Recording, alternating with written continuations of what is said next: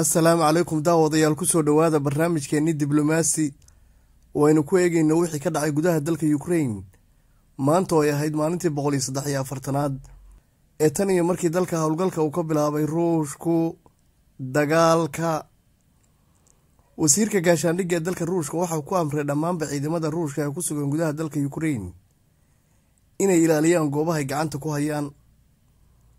Amarkan ayaa soo baxay kadib markii maalmihii la soo dhaafay laba jeer ee ciidamada yukraaniyiinta weerareen gobolka kharison oo ah gobol ku yaalla koonfurta dalka ukrain gebi ahaantiisna ciidamada ruushku ay gacanta ku hayaan.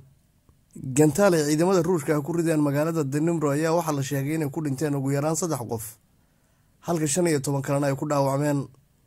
Sida uu xaqiijiyey guddoomiyaha gobolka denimro warar iskhilaafaya ayaa ka soo baxaya dagaalka ka socda sefareski iyo bakhmut wasaaradda gaashaandhigga ruushka waxay sheegatay inay gacanta ku dhigtay magaalada sefaresk halka wasaaradda gaashaandhigga ee ingiriiska iyo dowladda ukrain ay sheegayaan in weli dagaal halkaa ka sii socdo.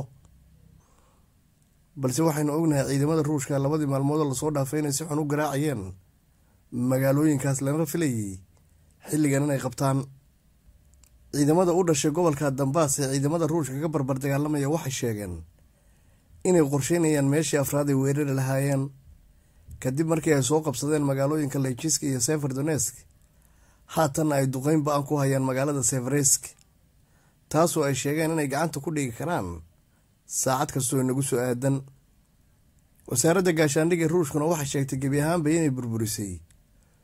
Warshad lagu sameyn jiray gantaalada balastiga oo ku taallay magaalada denibro sidoo kale wasaaradda gaashaandhigga ruushka waxay sheegtay inay maalinimadan maanta soo rideen saddex diyaaradood oo kuwa dagaalka iyo laba helikobtar oo yukraaniyiintu lahaayeen.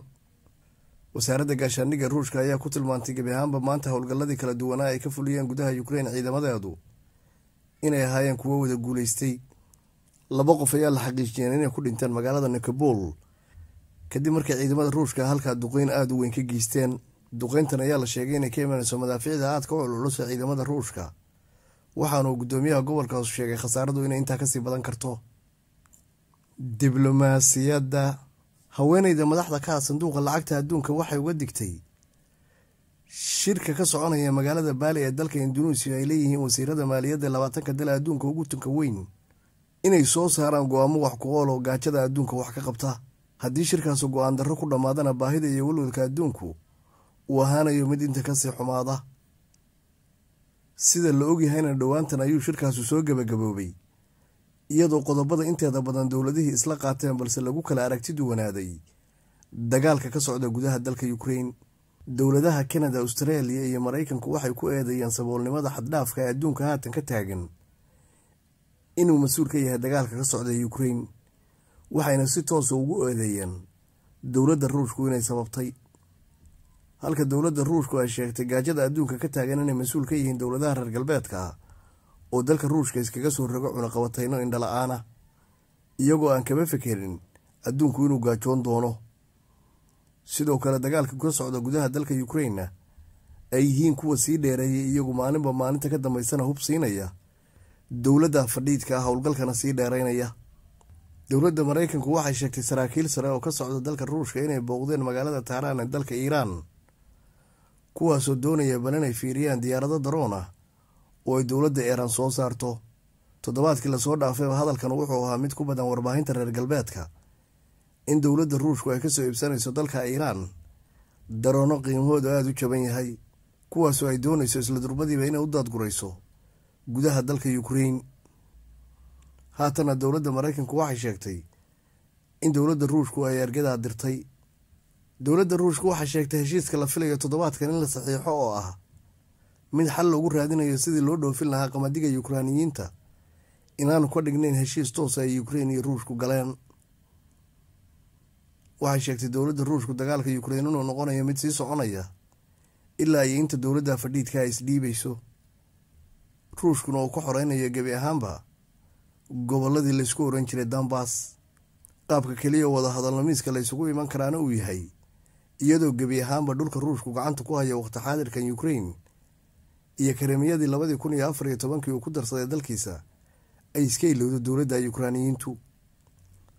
Waxay dowladda ruushku ku eedeysay dowladaha reer galbeedka ah inay hub ku kaydinayaan xarunta nukliyeer ee ugu weyn gudaha dalka ukrein xarunta nukliyeerka ee ukrein ayaa ahayd mid loo isticmaalo si nabadgelyo ah laga dhaliyo.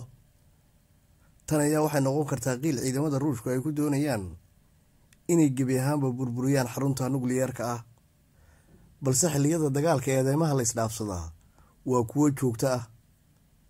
Ruushka ayaa maalinba maalinta ka dambeysa lagu eedeeyaa waxyaabo badan aana ciidamadiisu samayn. Soomaaliduna horeyba u tiri qaniyo qaniya kaa fujisa.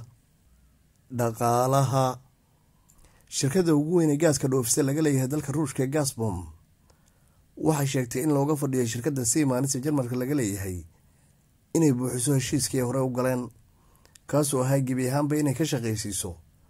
Matoorkii dhowaanta ay sheegeen inay kanada dib uga soo celiyeen. Waxay sheegtay shirkaddu inaanay ballan qaadi doonin in gaaska ay soo dhaafin karayaan. Badda baaltiga haddii aan matoorkaasu shaqayn. Sida ugu dhaqsiyaha badanna waxaa looga sugayaa shirkaddaa simanis inay matoorka ka shaqaysiiso. Haddii kalena dowladda ruushku aanay noqonayn tan mas'uuliyadda ka noqota dad badan oo qabowlaayo qaaradda yurub sanadkan maalinimadii maanta ahaydna shirkadda gasbom waxay weydiisatay shirkadda siman inay u soo dirto dukumentiya rasmi oo muujinaya in matoorka gebi ahaantiisba la keenay lana geeyey meeshii loogu talagalay si shaqadiisa uu bilaabo. Soo celinta matoorkan kanada laga soo celiyay ayaa hore u dhalisay buuqaad u weyn oo u dhexeeyay dowladaha reer galbeedka iyadoo laysku hayay inay tanubaal marsan tahay cunaqabataynihii kala duwanaa ee ruushka la saarayey iyo inaanay shaqo ku lahayn maadaama dowladda soo dhiibtana ay kanada tahay. Tan loo dhiibana jarmal labadoona ay yihiin laba dowladood oo reer galbeeda kana wada tirsan gaashaanbuurta naato dad badan tallaabada waxay u arkayeen inay tahay mid saxan oo laba dal oo naato ka wada tirsan reer galbeedana aanay wax isu diidi karin. Halka dadyow kalena ay u arkayeen inay tanu wax u dhimayso cunaqabatayntii la saaray dalka ruushka. Maadaama matoorkaasoo shaqeeya ruushka ay u soo xaroonayso lacag balaayiina maalintii daawada intaa waxaynu ku soo gabagabaynaynaa xogihii aynu ka soo ururinay wixii ka dhacay gudaha dalka ukrein maantu ay ahayd maalintii boqol iyo saddex iyo afartanaad ee tan iyo markii ruushka howlgalka ka bilaabay ukrein dabcan wixii xogaha ku soo kordha waxaad kula socon doontaan xogaheena soo socda. Fadlan muuqaalka laygareeya laygtaadu waxay noo tahay hadiyadii dhiirigelin adiga kaa timid. Muuqaalkana korayay u qaadaysaa ku xirnaada kanaalka mahadsanidin